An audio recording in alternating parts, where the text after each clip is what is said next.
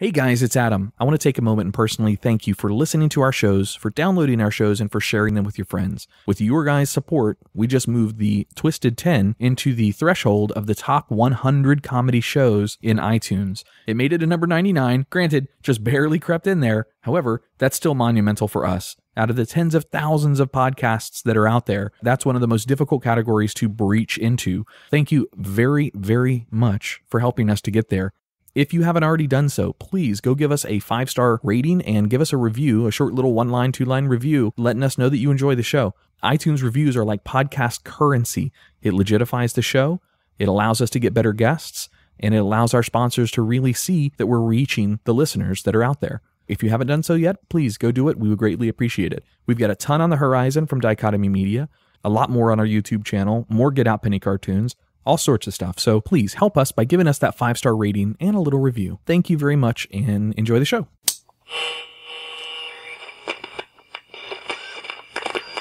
T minus 10, 9, 8, 7, 6, 5. All three engines up and burning. 2, 1, 0, and liftoff. One, two, three, four. You're listening to The Twisted 10, bringing you original and unique host created top 10 lists, recorded live in world famous Cocoa Beach, Florida, with hosts Tach Van Sickle, Adam Poston, Jay Alvarez, and me, Andrea Joy.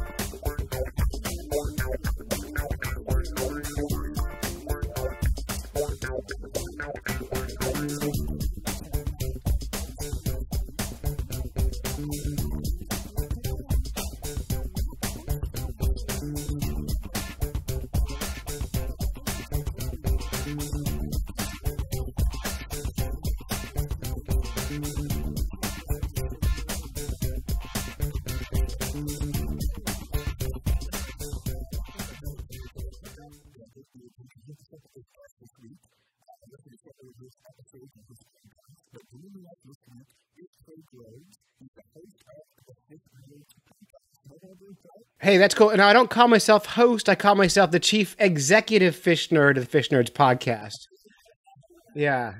Yeah. So if you had pre interviewed me without drinking so much, we would have made a little better progress on this. Thanks for having me. I got to tell you, when Andrea showed me your show, I thought, ah, that's kind of dumb. I can't wait to hear it. So I downloaded her episode, loved it. And then the one about sex uh, fetishes, loved it. And then I downloaded the entire back catalog, loved them all. And then I subscribed to your Patreon, giving you guys money because I love what. I wish I had thought of it because I'm pissed off that you're going to win big with this one. It's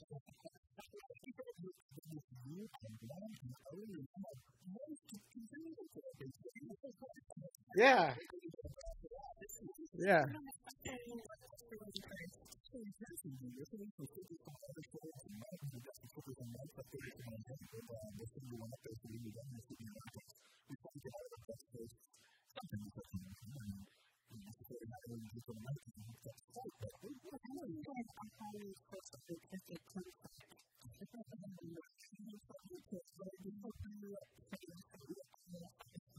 Well, I am pretty, so that's a great idea. I love it.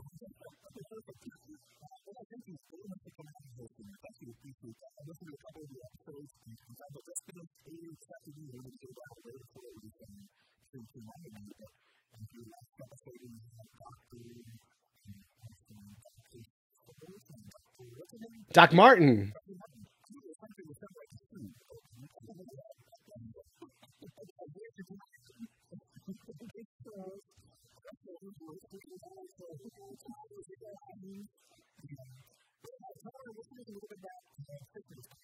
Yeah, well, so the Fish Nerds podcast, we came out. Uh, gosh, I say we all the time. I get in trouble for this, but originally I had a co-host. His name was Dave Kellum, and we went on a quest to catch and eat every kind of freshwater fish in New Hampshire. And we were writing for a bunch of magazines and newspapers, and the goal was to write a book uh, which ultimately ultimately did not happen. We wrote a lot of it, but we our agent disappeared, and and the magazines we were writing for went out of business. Uh, and so we thought, okay, what's next? Let's make a podcast because how hard could that be? It's not as easy as one might think. Uh, but we did it anyway. We launched the Fish Nerds podcast, uh, which, uh, we, gosh, we're 160 some odd episodes in. My partner Dave, ha- I killed him off in the fall, so it's just me now and a bunch of uh, Fish Nerds correspondents who do some work for the show. And we're a variety show, a magazine show.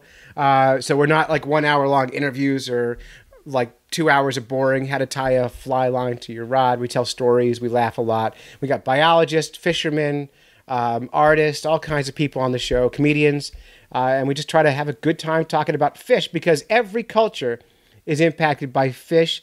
Uh, so we all have that in common, and so we can bring people together and laugh a lot, and that's the goal.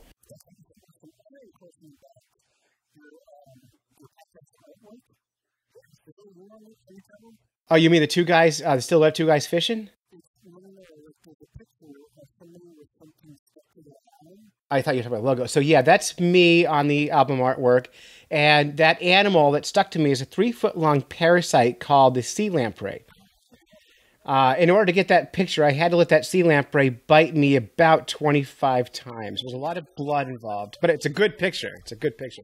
Uh, but but in, in fairness, uh, that's a female sea lamprey, uh, Petromyzon marinus, stone sucker of the sea. Uh, after she bit me, I ate her. So I win. I always win.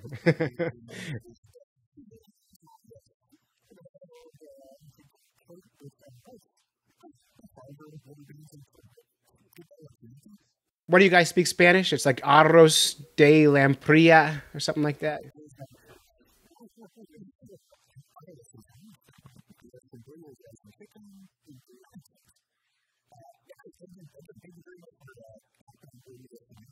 Sure. And and I forgive you too because I was supposed to come on the day after Father's Day, and you bumped me because some famous person wanted to be on your show. Um, yeah, so I, I, I caught that. I forgive you, but my list is is related to that day, and I'm not changing it. But I had a plan.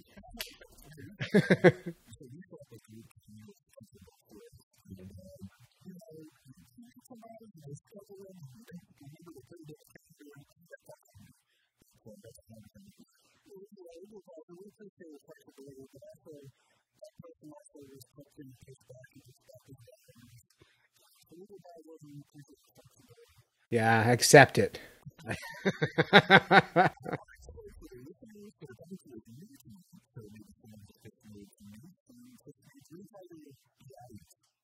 I call them Fish Nerd Nation or Fish Nerds or yeah.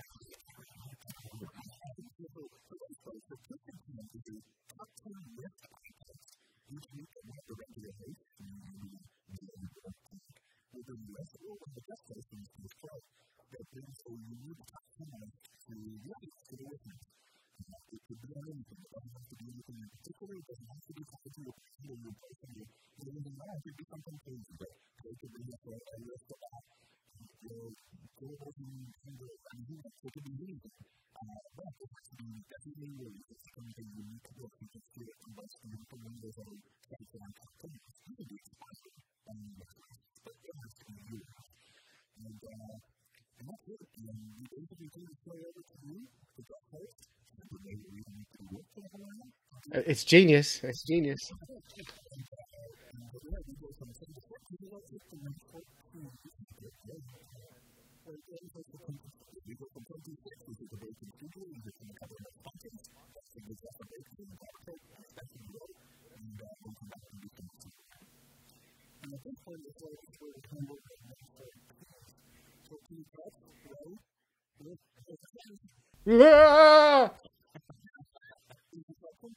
I'm a nerd. I can't catch.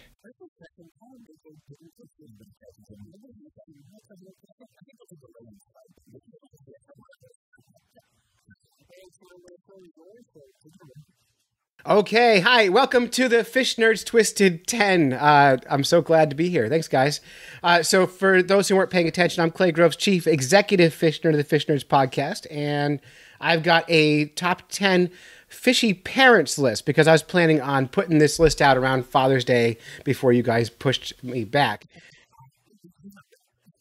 I, I'm not bitter. I just like to drill. All right, I'm gonna. Do you want to just jump right in here and start?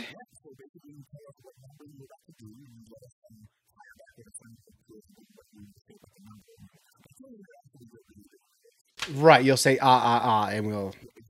So, all right. So uh, each one of these has a little bit of a, a funny quote. All right. So I wrote this list, uh, and this is top ten fishy parents.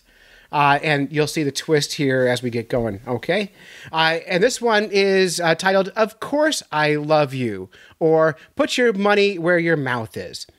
Uh, and there's a fish called an African cichlid. And cichlids are little tiny, like the most common freshwater fish in the world. They're just little guys. And these are known as mouth uh, brooders. Do you know what mouth brooding means?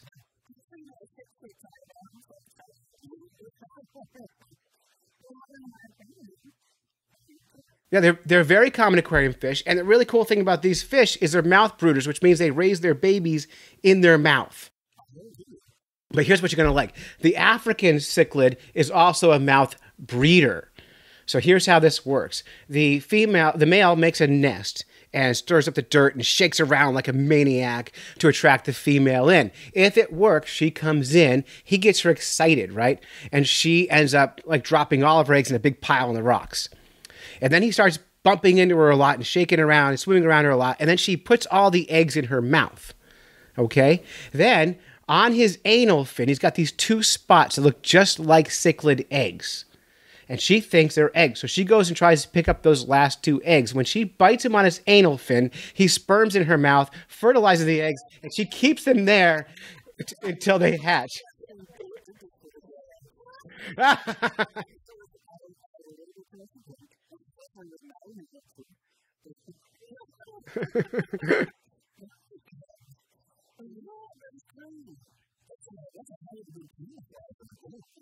Oh, I know. I so I've I've got these markers. I've painted myself with these two little dots, just in case.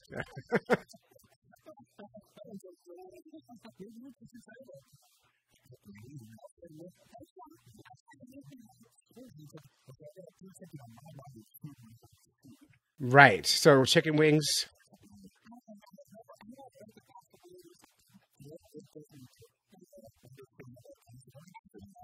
All right. Yes. Small glass. All right. So that's number 10. Uh, 10. We do 10 through 6, right?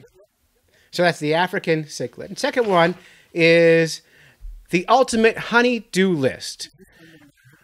Number 9. All right. And this one uh, this one is just kind of a a, uh, a a male fish who does all the work. So he gets the ultimate honey-do list. It's this seahorse and as you know females actually deposit eggs into the pouch of a male's abdomen, and he releases them after they uh, after they hatch and they can swim on their own. So he takes care of all the work. He's like Mr. Mom, and she just does all the. She's like a guy, like she just impregnates the guy, and she goes away and does her own thing.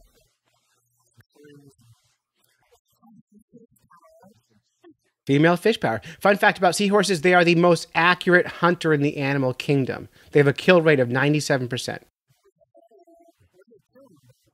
They're killing fish they're eating or little tiny plankton or whatever, but they have perfect aim. Whereas most fish or most animals miss most of the time when they're trying to hunt or fish.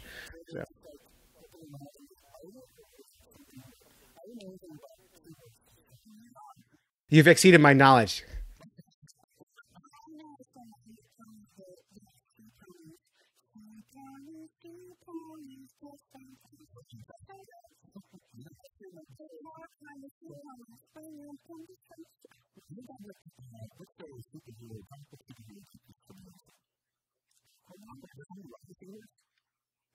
I think he did, he did in the old uh, Hanna Barbera cartoons.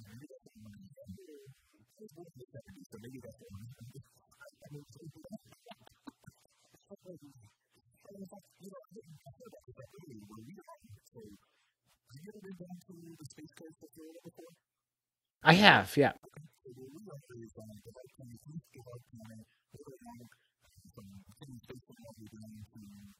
specific notion of looking at the whole field is where we came from. There is more, according to uh, the, the census, there are more waterfront properties in the ocean within the coastal waterway and the home than the U.S. community. So, so the law is this huge system community and there is some part of that comes from Some of the listeners, um, you can be touching with them on Facebook.com. Oh, I hope so. I hope so. Number eight. Oh, I was waiting for that. All right. Uh, this is called You Want Me to Put What Where? Uh, and this is about a blue lined octopus. This is not a fish, but I like this one a lot. Uh, you're going to like this. So, male uh, blue lined octopuses, these are little tiny, like six inch octopus. They have uh, one arm is shorter than the rest, and that arm is their sex arm. That's the only job of that arm is to make new octopuses.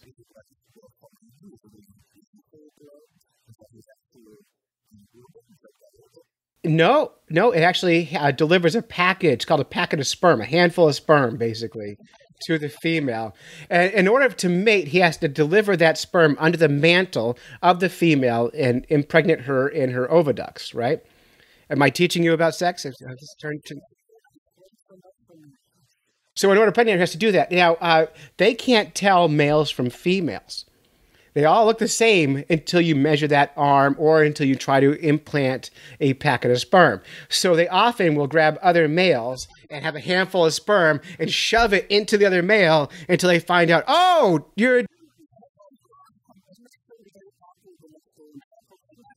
Yeah, it's like, hey, sorry, Joe, I didn't mean to do that. And, and then then when they activate with a female, females are not always receptive to males, just like any other animal. Uh, the males do all the trying to figure out how to get laid work. So these guys want it so bad, they will chew their own arm off while it has a packet of sperm. That arm will swim by itself to the female and climb under the mantle and deliver the packet of sperm. Yeah, it's totally real.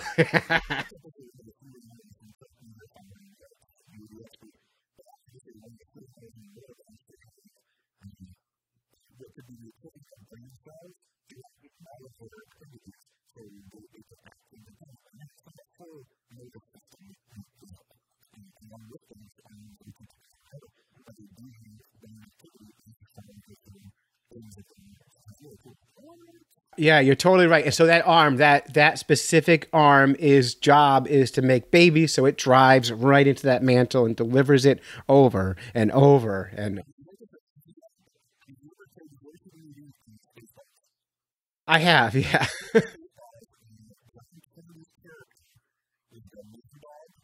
mhm.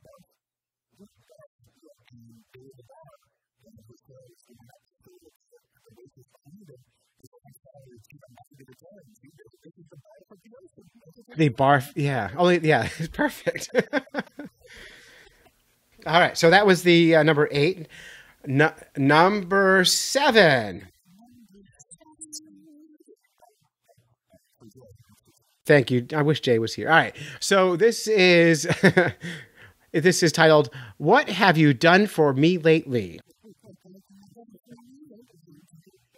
What have you done for me lately? Uh, and this is the uh, the angler fish. This is those big fish that live in the bottom of the ocean with the little lantern uh, on top of the fish. Now, here's a really cool thing: female anglerfish have put up with deadbeat dads. Uh, who literally attach themselves to the females to become parasites. So here's what happens. Here's how these fish mate. Female anglerfish are big, and the males are tiny, tiny animals.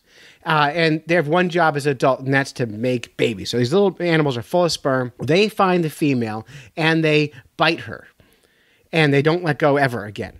And they become fused to her body, turning into gonads. And their job is stay attached to the female until she's ready to reproduce. And their job only deliver sperm when she's ready for her egg laying. So the males literally become fused to the female and become sperm generating machines to make more babies.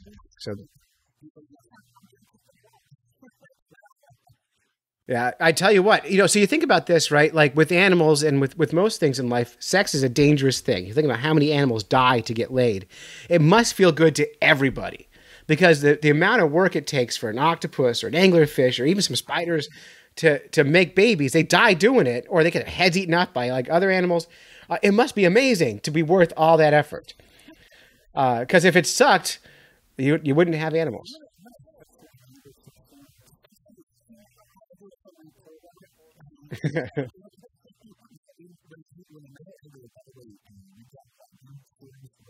so do we.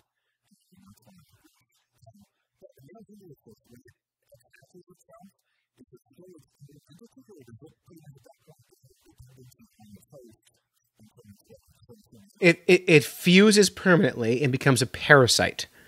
And so it will never let go.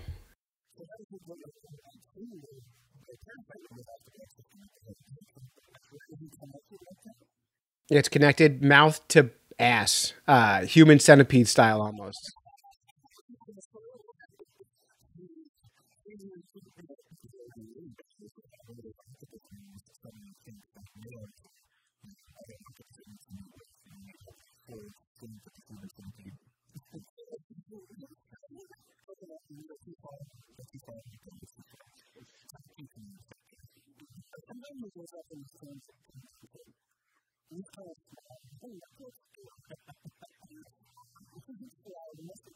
All right. So, do you guys fish?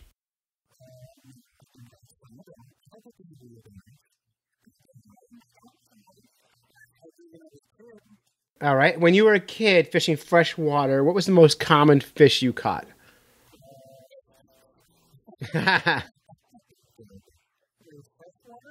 yeah.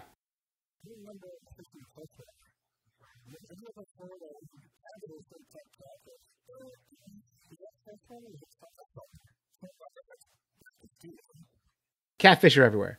So, but the most common freshwater fish people fish for are, are little sunfish, little cute sunfish. They're everywhere. You got them in Florida, and they have different names everywhere you go. But uh, our our friend the bluegill sunfish, one of our very common uh, fish here in North America, uh, has the award for the uh, most understood spouse ever, and here's why. Uh, sunfish are very territorial. The males, the bulls, the big tough ones, build these huge nests, right? They're big, called redds. They're big circles in the sand. They're like 24 inches across. Yeah, and they guard that like crazy. They don't let anybody, any other male come in. But females come on in and they're like, oh, come on, baby, come on in here. And they'll have a harem of females. And their job is to like get those females' legs and spawn with them. Uh, but but there are other males who want to mate with those females that are in that in that nesting area and those are called sneaker males and they want to sneak in and spawn with those females. To do so they have to disguise themselves right? This goes back to oh, your old bugs bunny days right? What did bugs yeah it's very bosom buddies right? So yeah. So so the sneaker males actually physically change their body color and their structure a little bit until they look just like female bluegills. And they swim up to the big bulls and they're like, "Hey, sweetheart, I'm gonna come in." He's like, "Yeah, come on, I'm gonna have you in here." And they go in there, and then they're like, "Hey, baby, it's just me." And the females are so impressed, they spawn with him, and his genes get spread. And the big bull sitting there going, "I need more ladies." So he doesn't know that there's all kinds of orgy happening right behind him, while those sneaker males are sneaking in. So those are the bluegill, our most understood spouse. So, yeah. Yeah, because they worked so hard to get in there.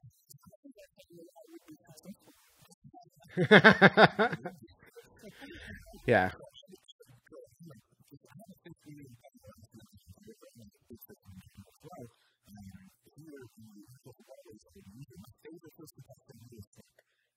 Oh, they're fantastic.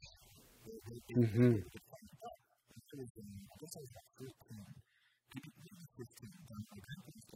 video game company with the right one.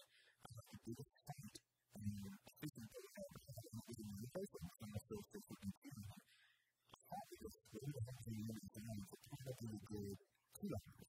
And for a 14, 15 year kid, that's a lot of time, especially in big, it's probably less than one day. And uh, my father came down, my grandfather came down, and I just been trying to fix it all the way up to school. And it's not regulatory, it's actually a career, you know, that we is about 80 times thick. When you have someone understanding it, but it would be the biggest, it would be the biggest and so it's thick. So you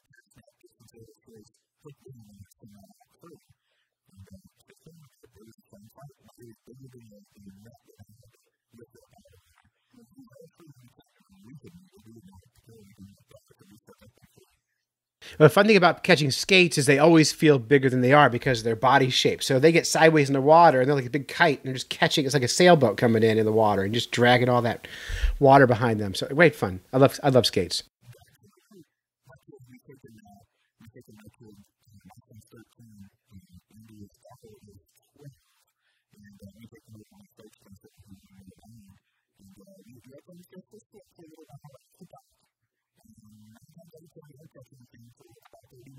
kid, and when you put somebody else up there, you guys are going to be in the community, and you can um, fit in with kids, and you got to keep them busy.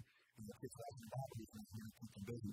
So, whether you're in the place where I'm here, and talk about that, or figure out every single time you're going to keep them busy. And so that's a little bit more than that. And so that's a little bit more than that. You really can't face that against the leader. And, and, and, and, Yeah, catfish are cool. And have you held, so you held catfish, right? So their their skin, they don't have scales. Their skin is covered in taste buds, and so when you're holding a catfish, it actually can taste you.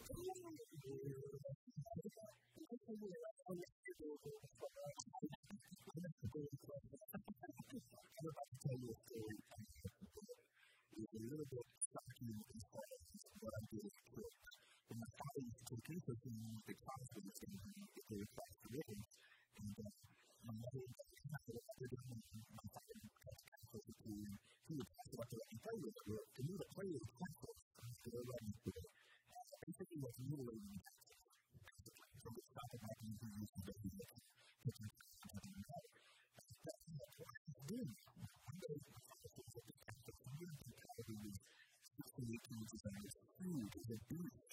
You have to do it. So that is found is behind that. Is when you talk about the material that is hot.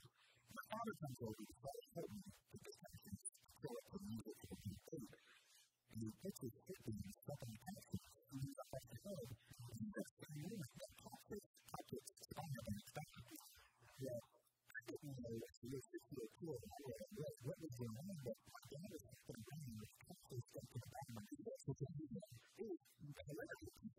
It's it's still funny.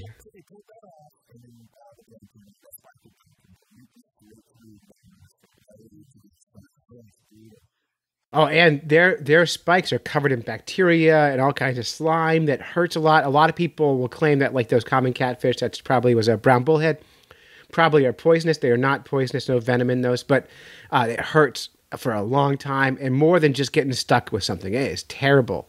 There are catfish, like in New Hampshire, we have a fish called the margined madtom that's three inches long and is venomous. So you get the same thing, plus you get the joy of a neurotoxin. So you get both.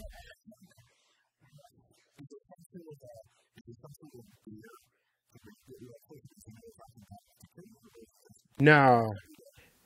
No, it feels like a lionfish sting, only a smaller scale because the fish is only three inches long. So it's not a big deal. Just wreck your afternoon. Uh, but he'll be okay. Yeah. But you can get even by eating them. And that's, you know, what I did. So. yeah. Don't don't screw with me. I'll eat you.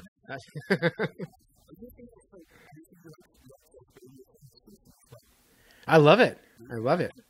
Yeah. Although I I uh, I get a little afraid once in a while when I catch like for example like last year I caught an Atlantic salmon, which is very good on sushi, right? Uh, but I, I, caught it fresh. I filleted it. I threw it on the grill because I, I, was going to eat it. Um, and and uh, as I was cooking it, this great big tapeworm came crawling up out of it. Right.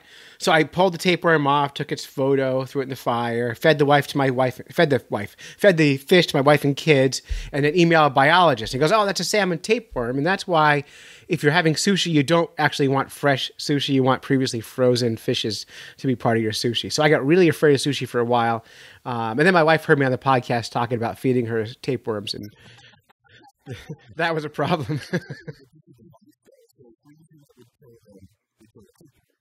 Theoretically.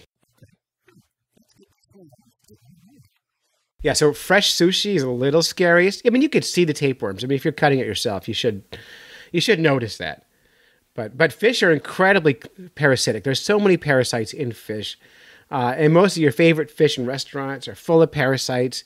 Uh, and even some of them they even put under black lights and pull the worms out before they bring it to the kitchen to cook it for you.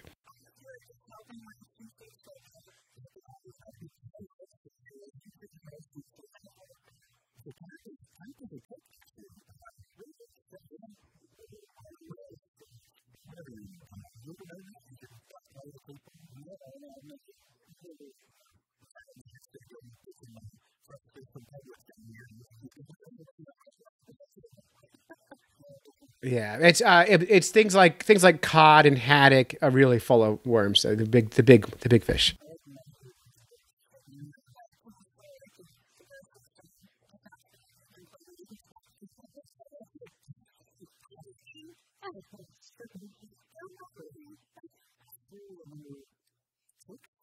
That was that was six. So isn't it time for break? Yeah.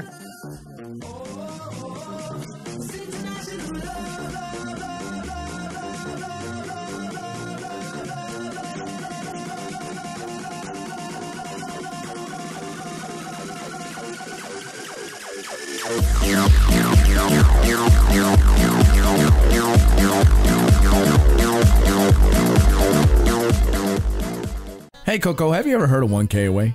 Well, it sounds like one of them groups that I hang out with every oh Thursday. Gosh, no, no, no, no. It's out of Sanford, Florida. It's a podcast by these two guys. They have no clue what they're doing, but you know what? It sounds awesome. They let black and ease like you into it? Oh, so many things to address there. But no, if you go to Google, just type in 1K Away. And if you go to Facebook, type in 1K Away, you'll find it. What the fuck is a Google? Oh my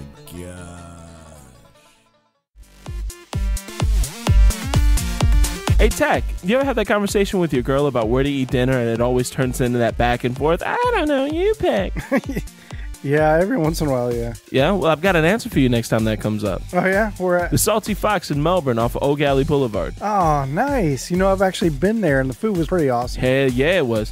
They offer a great selection of paninis, shareable appetizers, soups, and salads, and one of the best desserts I've ever had, the Funky Monkey. Oh, yeah. My favorite was the vintage options. They got this meal called ramen noodle on crack. You just got to try it out. Done. That's definitely what I'm getting next time. Put the fun between your legs at the Salty Fox every Tuesday night at 7 p.m. with the Eau Gallie Arts District Bike Crawl. It's a four mile bicycle ride down Pineapple Avenue with stops for food and beer all along the route. Be sure to visit the Salty Fox every Sunday for brunch from 11 to 4. Hey, isn't that the $10 bottomless mimosas brunch? Sure is. Enjoy your brunch while the Salty Fox's DJ spins throwbacks and top 40 hits. Salty Fox is located in the downtown Eau Gallie Art District on Eau Gallie Boulevard. Check them out on Facebook at facebook.com slash saltyfoxmelbourne or online at thesaltyfox.net. Hey, listeners, be sure to mention you heard about the Salty Fox on our show, and you'll get 10% off your meals.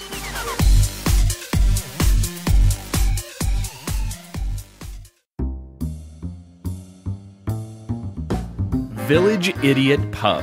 You locals know about it. You guys from out of town have to check them out. Village Idiot Pub is now a proud sponsor with Living Podcariously and the Twisted 10 podcasts. It's more than just about commercials, though. The cast here will be taking our show on the road to Village Idiot to record some episodes as well as hold events. They have over 30 beers on tap, including ciders and Hefeweizen, my favorite, as well as hundreds of bottle choices. Adam, you forgot my favorite all the delicious wine.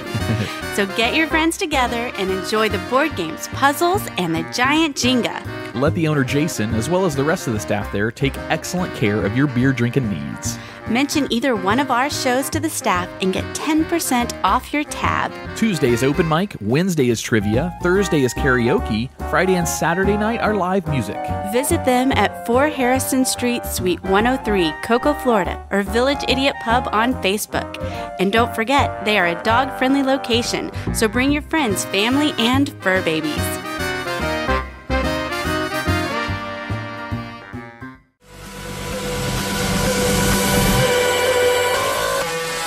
Hey, it's Adam. If you enjoy the hosts or the content of the Twisted 10, be sure to check out our other show. It's called Living Podcariously. While the Twisted 10 may get crass and explicit occasionally, it holds no water to Living Podcariously. We do get a little bit more rough and raw on that show. We have a lot of fun producing it and have had some awesome guests. And as always, thanks for listening.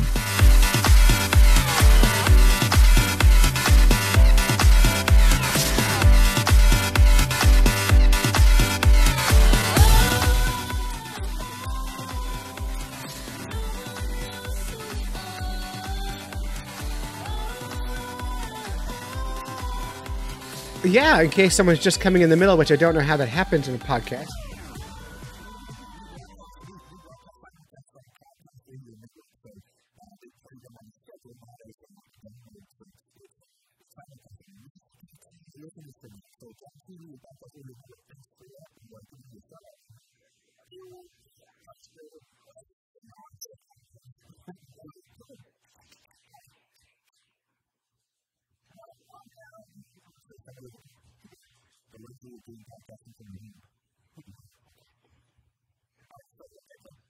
Okay, so here's a recap from the first half in case you weren't paying attention.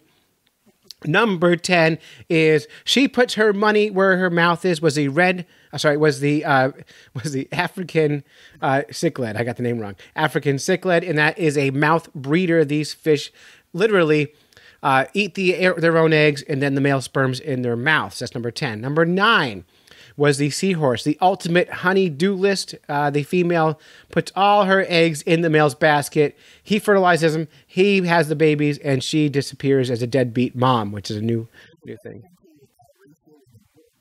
That's right, ninety-seven percent. I hear.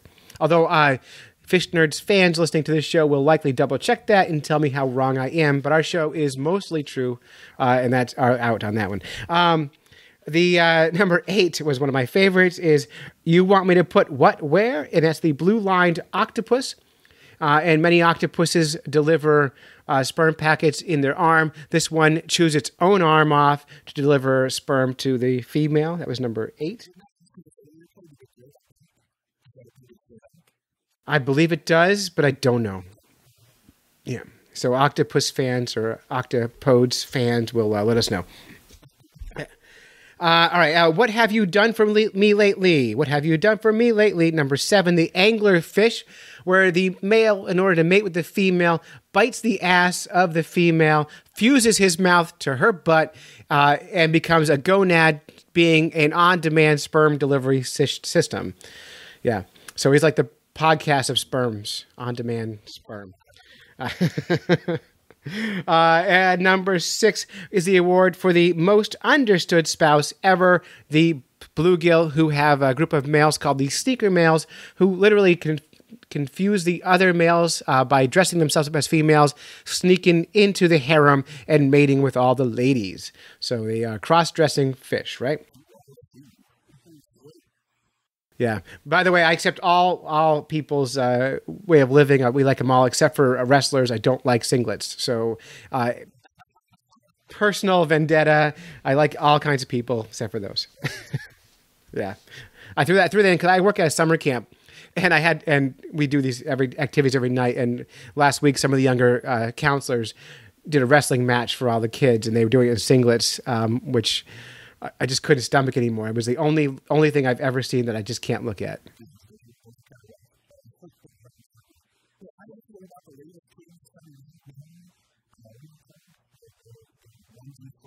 The rompers.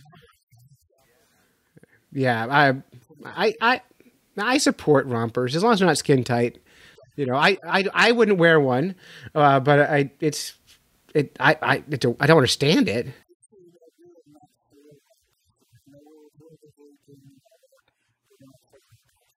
Yeah, because I when I see you, I see um, Tach. I see you um, with your romper on, a fanny pack, a Bluetooth earpiece, and a vapor walking around. Uh, and to me, that's perfect. That's like the ultimate douchebag clothing wear, you know. so. Yeah. God, I hate those two. Don't start me.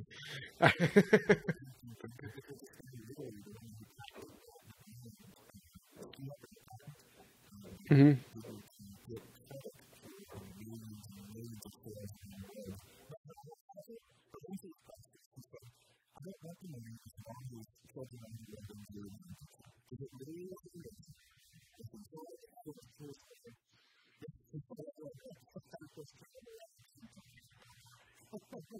Terrible.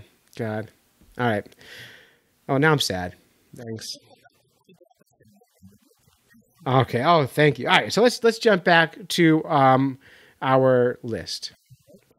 All right, we're about to number five here. God, uh, and this list is who wants to be the dad, and all the rest go not it, not it, not it, not it. And this is the blue blue streaked cleaner wrasse. Uh, and this is a really cool fish. These are reef fish. You have them down your way. They live in giant groups. Uh, one female and a, uh, sorry, one male and a whole bunch of females, right?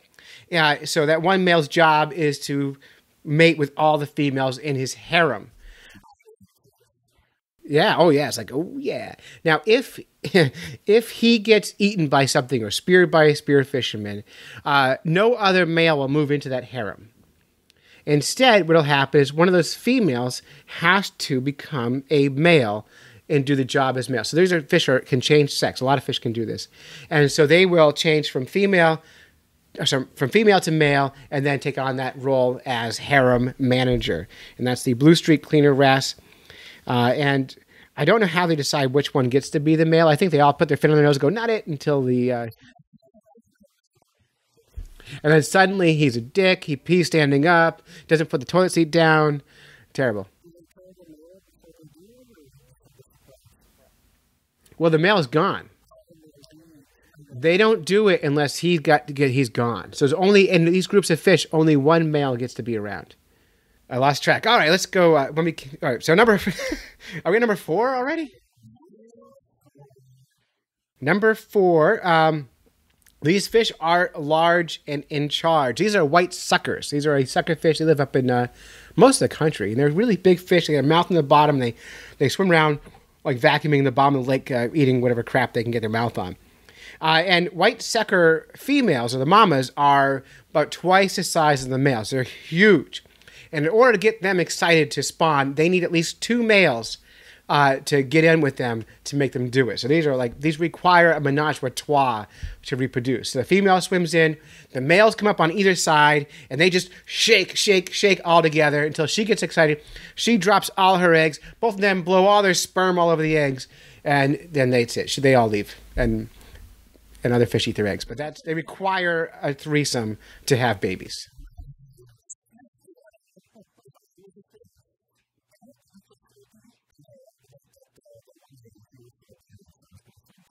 Yeah. Now, Andrea, how do you feel about the devil's threesome?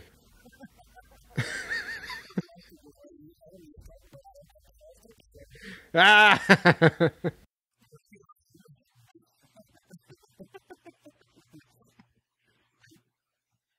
All right. All right. All right. You guys have nothing else on that. All right. So, number three. Right. This is the. Oh, you're thundering like crazy here now. Yeah.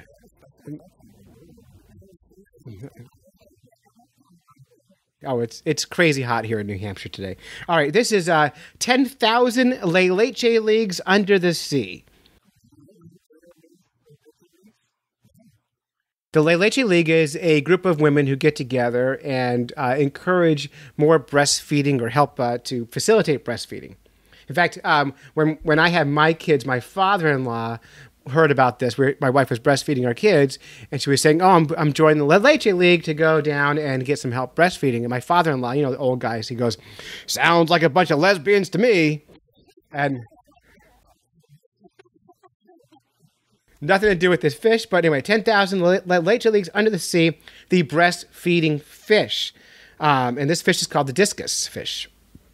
And researchers have discovered a discus fish parent with mammalian like uh, moms. These fish uh, feed their young from mucus secreted on their surfaces of their skin. Uh, the the content of that mucus is almost identical to what's found in, ma- in mammal breast milk. Helps them to uh, develop and develop immunities to other things and feeds them. So we actually have a fish that feeds their babies on a milk-like mucus.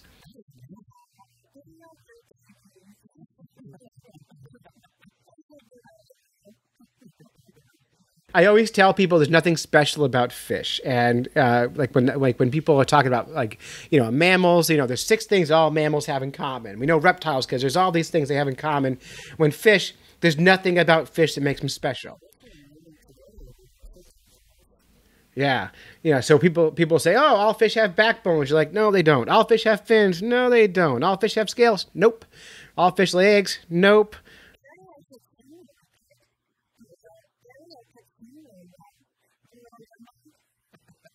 Oh, right, but not a not a true fish.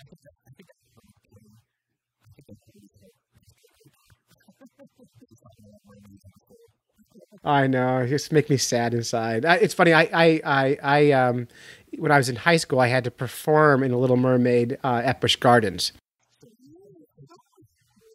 Under the sea. I hated the music from that.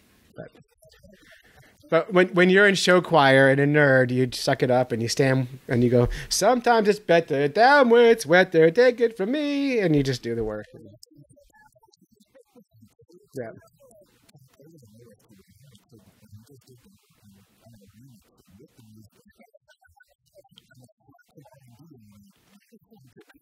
I, I will I will send you some Fish Nerds decals and a hat if you do that.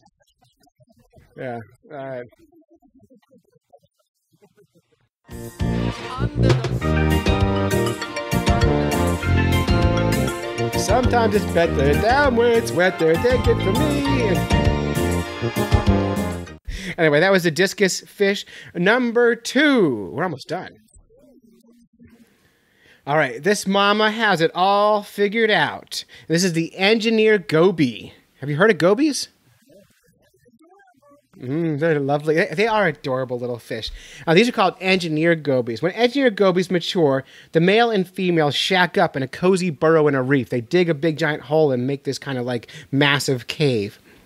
Uh, they then have a ton of babies, we're talking thousands of babies, and they quickly they quickly leave the cave to forage for food.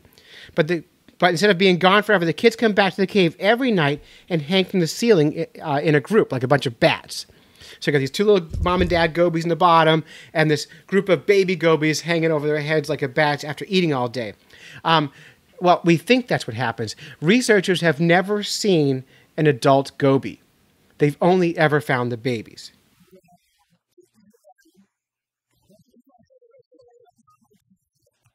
Yeah, something happens, but what we think is happening and what researchers think is happening is the babies are actually caretaking for the parents. Uh, but they just never found the parents yet. And fish research is still a new thing, and they're discovering new, new species every day. Uh, and there, there's always so much to learn with fish. And likely, by the time someone hears this story, they've already solved that problem, and I'm wrong. So that, yeah.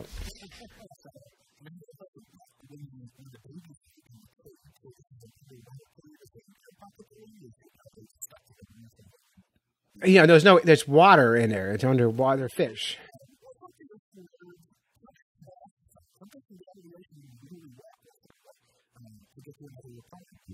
That's true. That's true. And you could you could find some fish as roadkill, but these guys live in a cave under the sea because um, it's better where it's wetter.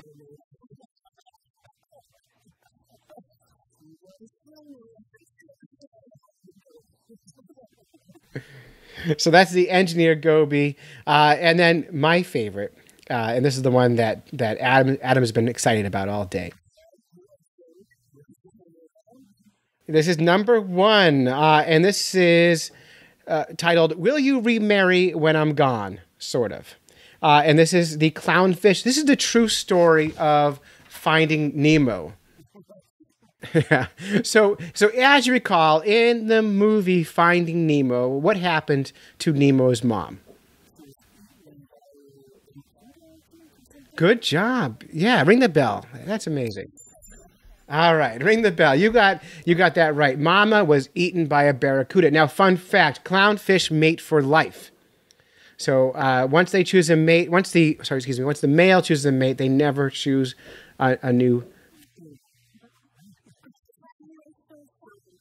It is so sad. So what happened is, is Nemo's mom got eaten by a barracuda, uh, and Dad gets. Um, uh, by the way, I just watched your dog sniffing your cat's butt.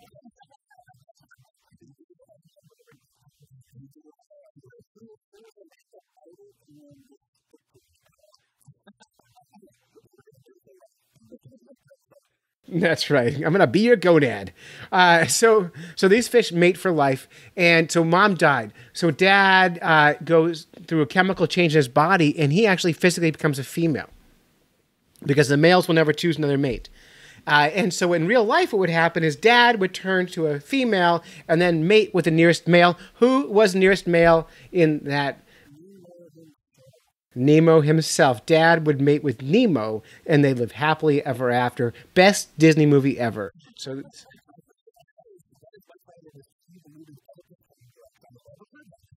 I know. It, it'll be a very different me- movie.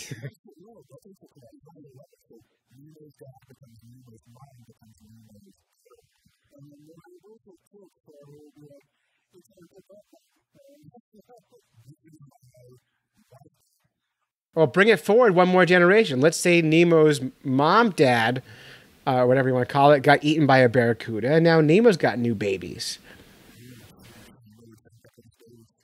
Oh, yeah. Welcome to Orlando.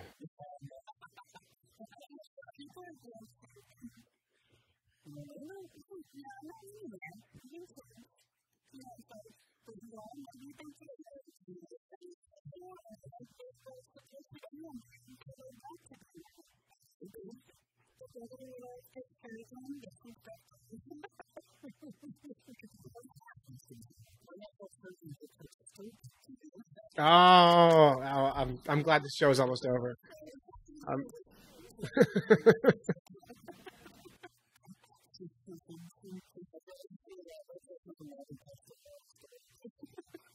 so we steal everything, don't we?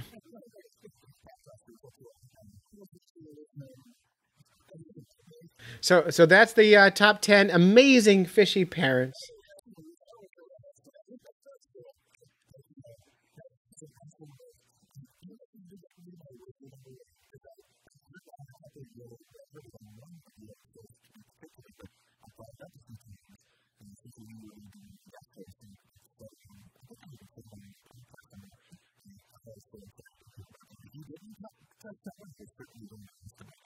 Yeah, I, I was worried about telling you in advance what I was going to do, but I, I wanted to do that one. My other list I came up with was uh, was top ten bad fishing inventions, and I didn't put that out yet. So if you ever want me back again, we can.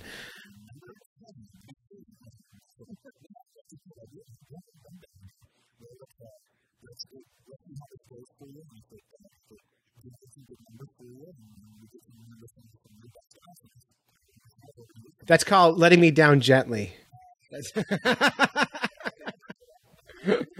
No. Yeah, I don't blame you. Someone, someone more famous who wants to talk about movies or something.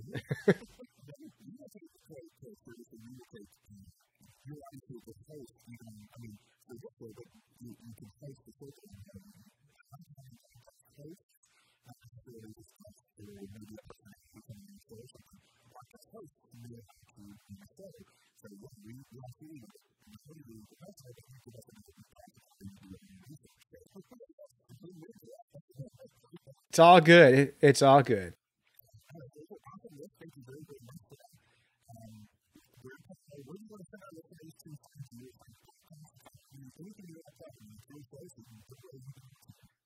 Yeah, so uh, our show can be found, you know, of course, all the places you get podcasts. And of course, fishnerds.com is the website. And all of our action on social media happens through a private Facebook group called the Fish Nerds Podcast. So whenever whenever you're online looking for us, that's the best place to go uh, is Facebook. We're on the Twitter, we're on the Instagram. Um, I tried Snapchatting, but no one wanted to see me naked, so we skipped that. So that's. Uh, it's uh, you, yeah. Hmm. I'm a I'm a consummate never nude, so there's no chance seeing me naked anyway.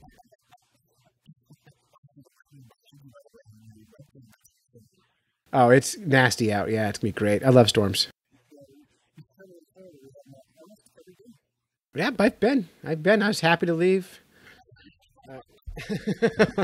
but I, I like visiting Florida. I went fishing in the highlands of Florida a couple of years ago. There's a kid down there named Lunker Louie, who was like this 10 year old fishing prodigy. And I, and I drove down there to fish with him for a day. Uh, and it was a totally insane, insane thing. Just this kid who knew how to do everything. He was on the cover of a bunch of magazines. And his neighbors were these crazy racists. And they had a, um, they actually had signs in their yard about why they shouldn't have black people living next door to them. In the in the Highlands. Um, but they would um, when I was interviewing him, they had an airboat, and every time I turned the microphone on, they would turn the airboat on.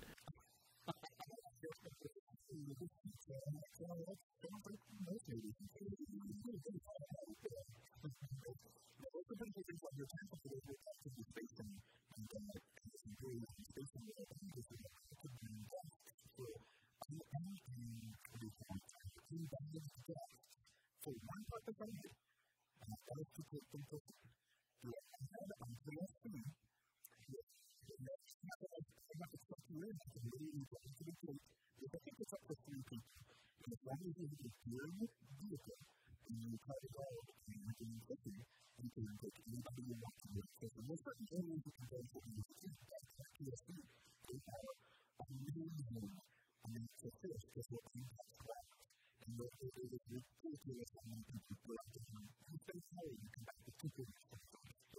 in pratica I, I can imagine. I fished. I went on to a conference in Florida a couple years ago in Orlando at a golf course. I don't golf, so I grabbed my ice fishing rods. I, I'm, a, I'm an ice fishing guide on the side, and I went ice fishing with well, I was, ice fishing, but I was using my ice fishing gear to fish the ponds at the golf course, catching giant carp and catfish and tilapia and all kinds of stuff. And people are golfing around me, and they're like, "Are you allowed to fish here?" I'm like, "There's no sign. I don't know."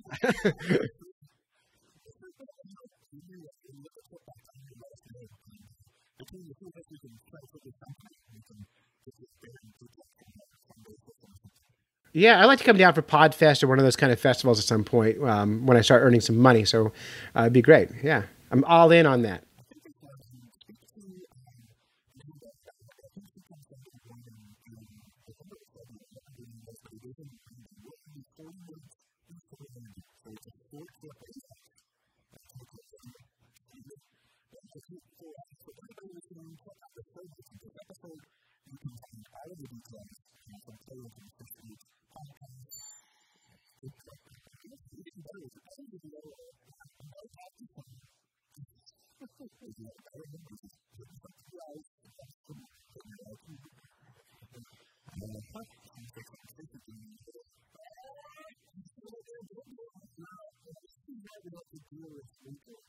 I know. I I listened.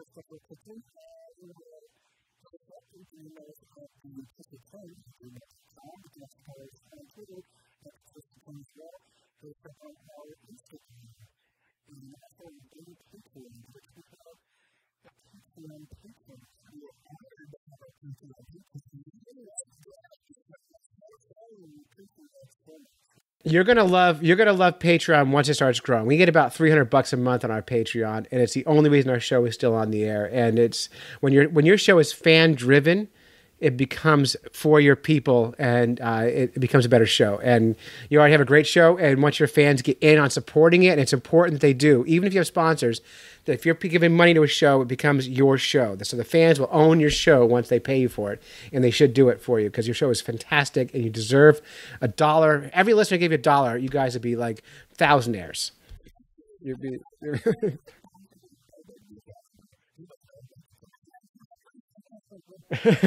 I'd be a twelve dollar heir.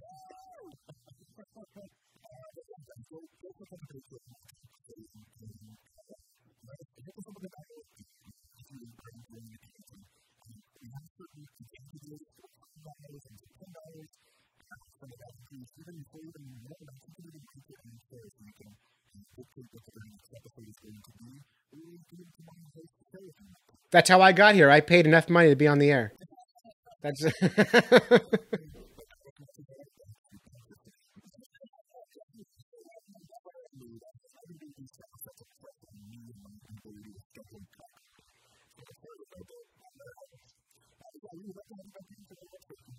yeah, lovely.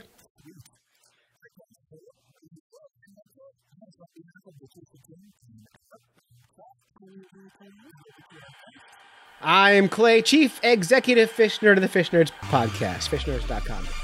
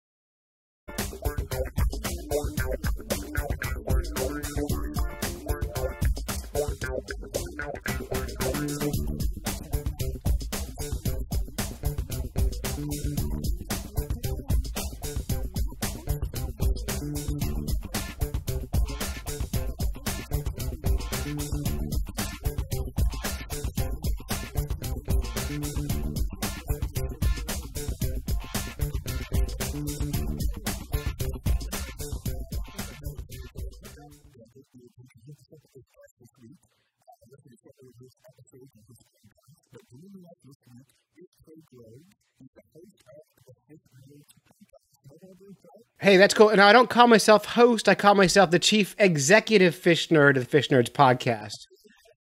Yeah. Yeah. So if you had pre interviewed me without drinking so much, we would have made a little better progress on this. Thanks for having me. I got to tell you, when Andrea showed me your show, I thought, ah, that's kind of dumb. I can't wait to hear it. So I downloaded her episode, loved it. And then the one about sex uh, fetishes, loved it. And then I downloaded the entire back catalog, loved them all. And then I subscribe to your Patreon, giving you guys money because I love what. I wish I had thought of it because I'm pissed off that you're going to win big with this one. It's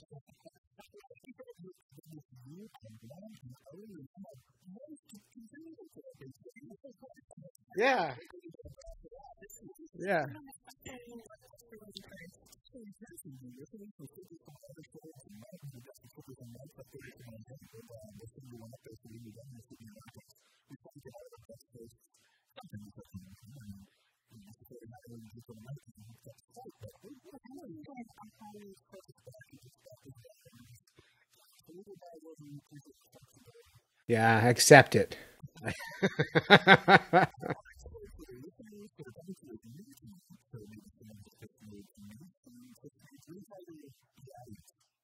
I call them Fish Nerd Nation or Fish Nerds or yeah.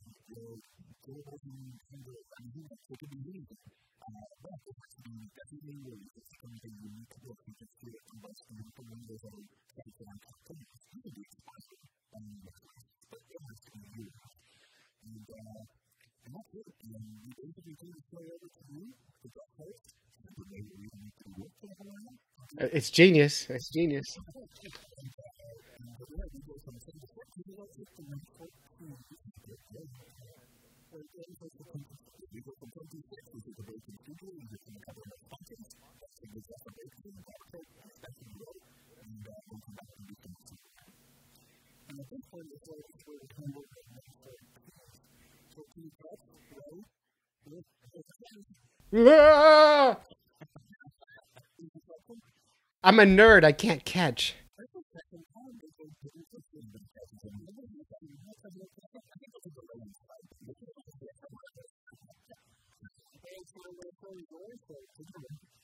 Okay, hi, welcome to the Fish Nerds. Tw-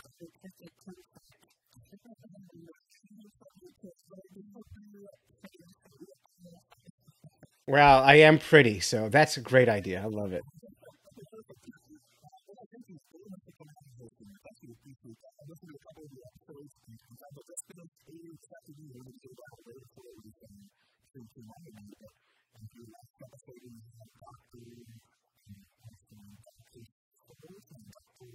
Doc Martin.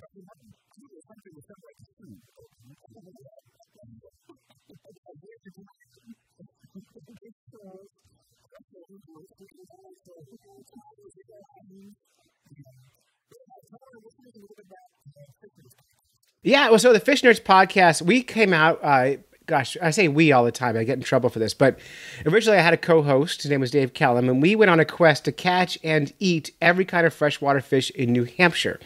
And we were writing for a bunch of magazines and newspapers, and the goal was to write a book, uh, which ultimately ultimately did not happen. We wrote a lot of it, but we our agent disappeared, and and the magazines we were writing for went out of business.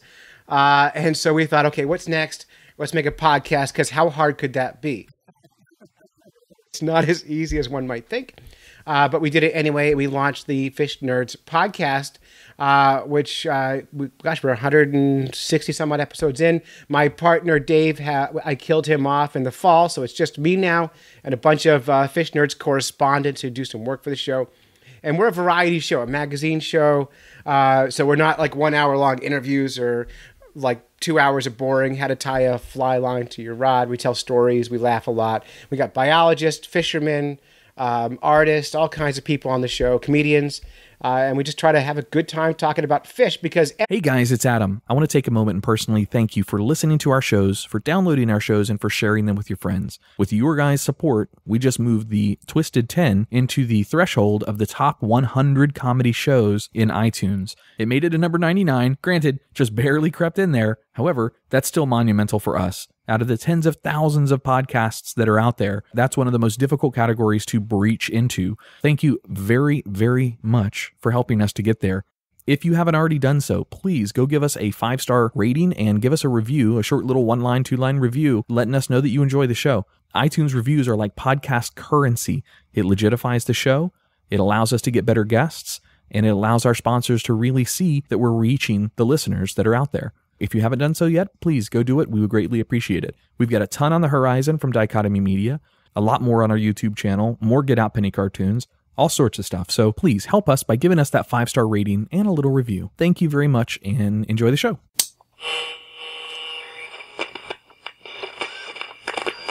T minus 10, 9, 8, 7, 6, 5. All three engines up and burning. 2, 1, 0, and liftoff. One, two, three, four. You're listening to the Twisted 10, bringing you original and unique host created top 10 lists, recorded live in world famous Cocoa Beach, Florida, with hosts Tach Van Sickle, Adam Poston, Jay Alvarez, and me, Andrea Joy.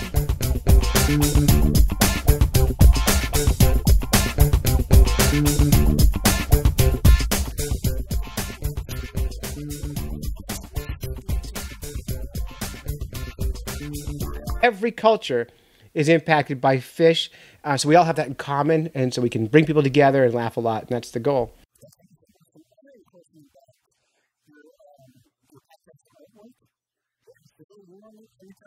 Oh, you mean the two guys, uh, the still left two guys fishing? I thought you were talking about logo. So yeah, that's me on the album artwork. And that animal that stuck to me is a three foot long parasite called the sea lamprey. Uh, in order to get that picture, I had to let that sea lamprey bite me about 25 times. There's a lot of blood involved, but it's a good picture. It's a good picture. Uh, but but in, in fairness, uh, that's a female sea lamprey, uh, Petromyzon marinus, stone sucker of the sea. Uh, after she bit me, I ate her. So I win. I always win.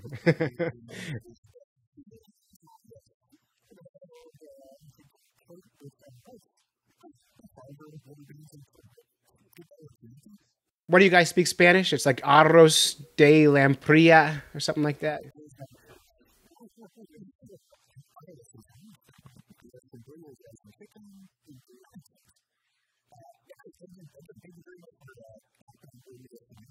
Sure. And and I forgive you too because I was supposed to come on the day after Father's Day and you bumped me because some famous person wanted to be on your show. Um, yeah, so I, I, I caught that. I forgive you, but my list is is related to that day, and I'm not changing it. But I had a plan.